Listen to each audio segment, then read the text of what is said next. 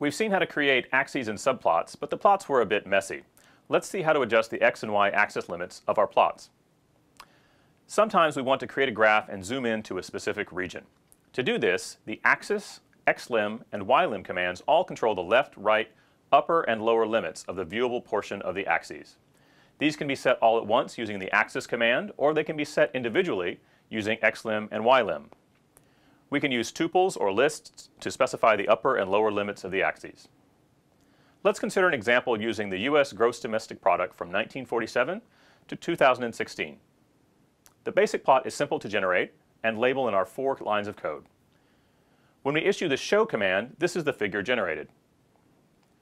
Notice the vertical scale is chosen for us to fit all the data. Suppose we want to zoom in on a portion of the graph, say the years from 1947 to 1957. We can do this by explicitly setting the horizontal axis limits using the command xlim. The resulting figure is not all that great. We can see that the vertical scale is too tall to see what's going on. It's the same default vertical scale that fits all the data. There's a similar command ylim that we can use to specify the upper and lower limits of the y-axis. We'll use xlim to zoom in on the years 1947 to 57 and this time, follow it with, with the ylim command to clip the vertical axis from 0 to 1000. We can see the growth more clearly, but it's still a little flat. We could zoom in vertically even more in principle.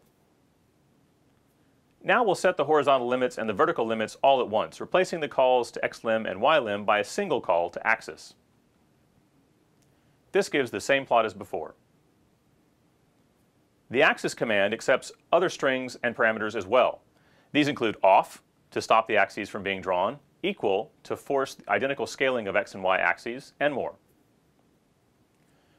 For example, here is a view of a circle in two subplots. The top plot uses the default axis scaling. The bottom plot uses axis equal to ensure that the circle is actually drawn as a circle. This is the code that produced the preceding figure. Again, it's the use of axis equal that sets the scaling. Take a few minutes now to practice working with these commands on your own.